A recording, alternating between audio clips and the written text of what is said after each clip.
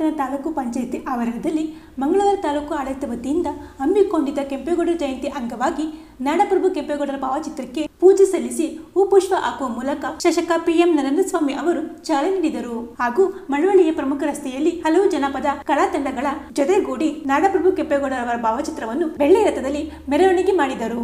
ನಂತರ doctor B R Ambedkar ಭವನದಲ್ಲಿ ಆಯೋಜಿಸಿದ ಕೆಂಪೇಗೌಡರ ಜಯಂತಿ ಕಾರ್ಯಕ್ರಮವನ್ನು ಶಾಸಕರಾದ ಪಿಎಂ ನರೇಂದ್ರಸ್ವಾಮಿ ಅವರು ಉದ್ಘಾಟನೆ ಮಾಡಿದರು. ನಂತರ ಕಾರ್ಯಕ್ರಮದಲ್ಲಿ ಸಾಧಕರನ್ನು ಅಭಿನಂದಿಸಿ ಸನ್ಮಾನಿಸಿದರು. ಈ ಸಂದರ್ಭದಲ್ಲಿ ತಹಸೀಲ್ದಾರ್ ಆದ K N Lokesh, taluk panchayat EO Ramalingaiah, ಪುರಸಭೆ ಅಧಿಕಾರಿಯಾದ ಮಹೇಶ್, ಸಮಾಜ ಕಲ್ಯಾಣ ಅಧಿಕಾರಿಯಾದ ಜನಾರ್ದನ್ ಬಿಒ ನಾಗರಾಜ್, ಜಿಲ್ಲಾ ಪಂಚಾಯತಿ ಮಾಜಿ ಸದಸ್ಯರುಗಳಾದ ವಿಶ್ವಾಸ್, ಸುಜಾತ ಪುಟ್ಟು, ಸುಷ್ಮಾ ರಾಜ್, ತಾಲೂಕು ಪಂಚಾಯತಿ ಮಾಜಿ ಅಧ್ಯಕ್ಷರಾದ ವಿಕೆ ಪ್ರಶಾಂತ್, ಮಾಜಿ ಉಪಾಧ್ಯಕ್ಷರಾದ ಸಿ. ಮಾಧು, ತಾಲೂಕು ಒಕ್ಕಲಿಗ ಸಂಘದ ಅಧ್ಯಕ್ಷರಾದ ವಿಪಿ ನಾಗೇಶ್, ಬ್ಲಾಕ್ ಕಾಂಗ್ರೆಸ್ ಅಧ್ಯಕ್ಷರಾದ ಸುಂದರ್ರಾಜ್, ದೇವರಾಜ್, ಎಪಿಎಂಸಿ ಅಧ್ಯಕ್ಷರಾದ ಅಂಬರೀಶ್ ಮಾಜಿ ನಿರ್ದೇಶಕರಾದ ದಿಲೀಪ್ ಕುಮಾರ್ ಟಿಎಪಿಸಿಎಂಎಸ್ನ ಅಧ್ಯಕ್ಷರಾದ ದ್ಯಾಪೇಗೌಡ ಸದಸ್ಯರಾದ ಟಿಸಿ ಚೌಡಯ್ಯ, ಪುರಸಭೆ ಮಾಜಿ ಅಧ್ಯಕ್ಷರಾದ ದೊಡ್ಡಯ್ಯ, ಮುಖಂಡರಾದ ಚೌಡಯ್ಯ ಹಾಗೂ ಹಲವರು ಭಾಗಿಯಾಗಿದ್ದರು.